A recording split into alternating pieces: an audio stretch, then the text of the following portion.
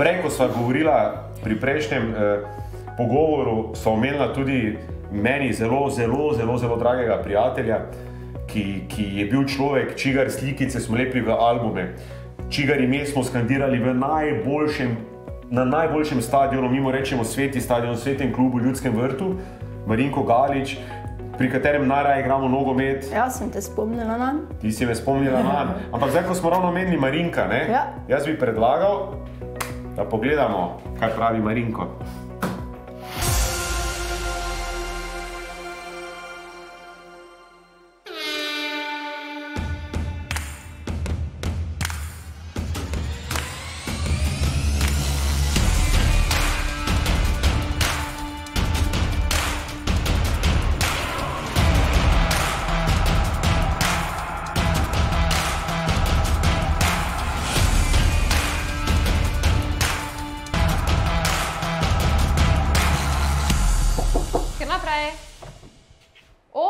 Zdravo, Marinko. Prav, zala, Ti si se tu odločil za Invisalign?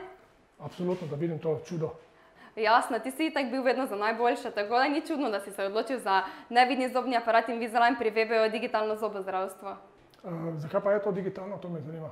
Digitalno zobozdravstvo smo pa zato, ker smo prvi, ki več ne delamo tistih nagražnih odtisov, veš, ko ti dajo tisto maso v usta, ampak zdaj skeniramo z intraoralnim skenerjem. To pa je iTero Element, to je najnovejša verzija, ki jo imamo tudi, se lahko pohvalimo, da jo imamo prvi v Sloveniji. Uh, to je iTero Element 5D, ki zazna tudi karies. Uh, ta drugi je pa tudi super, tako čisto za primerjavo. To je naprimer Mari Marinko Galič, to pa Franko Barezi. Ampak brez zamere, ti si meni top. Oh, hvala za kompliment. Uh, kako dolgo pa to traja? Eh, tu govorimo o minutah. Ko sem v top formi, tako nekje 2 do 3 minute, ampak običajno recimo 5 minut. Uh, nam je pa zelo pomembno, da kljub naši hitrosti, torej hitrosti skenerja, ne trpi kvaliteta.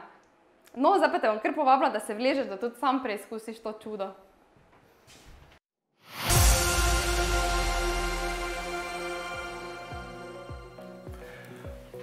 Noro, sta pravi par, ne? Zala, zala in gala. Zala in gara, to se Zala čuje Gala. tako pravlično. Ampak, hej, skratka, pripravljala sta se, Zala je celo govoril o Franku Bareziju, ne?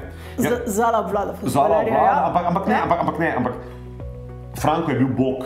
Ampak objektivno Galič je bil vse razred boljši od njega, pa naj mi to ne zamerijo, pa naj mi govorijo, da sem lokal patriot, ampak bil je Tako se govori po Mariboru. Ja. In širše. Ampak ok, ono da govorite za o tem, da ga boste skenirali. Jaz bi mogoče samo izkoristil za en stavek, pa da pogledamo, ko govorimo o tem intraoralnem skenerju, ki je mogoče nekomu danes kar standard, pa ni temu tako. Jaz bi predlagal, da mogoče pogledamo, kako se je začelo.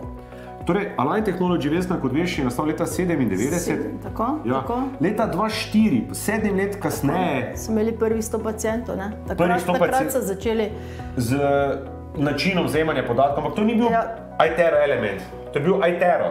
Tako, Zametek nekega intraoralnega skeniranja, poskus. Ja. poskus. Ja. Šele leta 2014 je nastal ja. iTero element 1, Element tako, ki smo mi bili ponosni lastnik tega skenerja. tako. Kasneje, leta 2018, Dvoj- iTero element 2 Dvojka. in šele 2020 iTero element 5D, ki ga tudi imamo.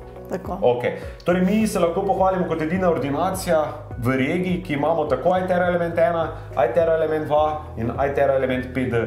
Predvsem pa želimo poudariti, dragi VBO-jevci in ostali, ki nas gledate, zajem podatkov z intraoralnim skenerjem se ni zgodil včeraj, ampak je plot ponovno več kot 20 let razvoj In večjih milijard, ne? večjih milijard sklekova, okay, dolarjev. Skratka, da smo danes tukaj, kjer smo. Tako. Pa zdaj, ko vemo, kako dober je ta skener, predlagam, da pogledamo, Poglejmo. kako gre najnemu dvojcu Zala in Gala. Gala. Let's go.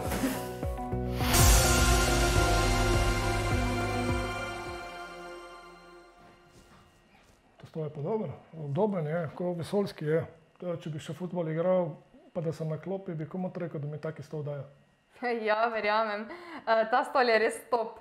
V bistvu je uh, danskega proizvajalca XO in stane pa tudi tako avto višjega cenovnega razreda. Je pa seveda tudi temu primerno opremljen.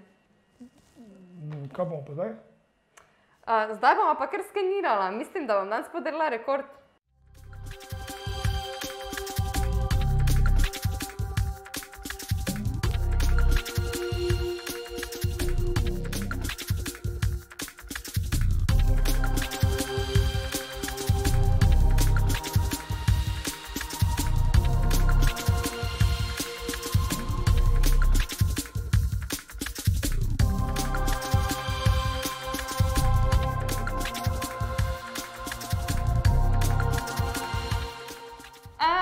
Ma konec. Še? Ja, je bilo hitro, ne? Danes sem rekord postavila. A to so moji zobje? Ja, Marinka, to pa so tvoje zobje. Evo, tako lahko pogledamo spodnjo čeljust, lahko pogledamo samo zgornjo čeljust, če želiš, lahko pa tudi pogledamo, kje se zobje stikajo. Lahko tudi povečamo, obrnemo. Ampak to samo tako, potem ti bo doktorica več povedala v svetovalnici. Uh, ej, veš, kaj je imela tudi ful lepe zobe, tako ti. Tjaša, koliko je rala, ona misica, zihar je poznaš.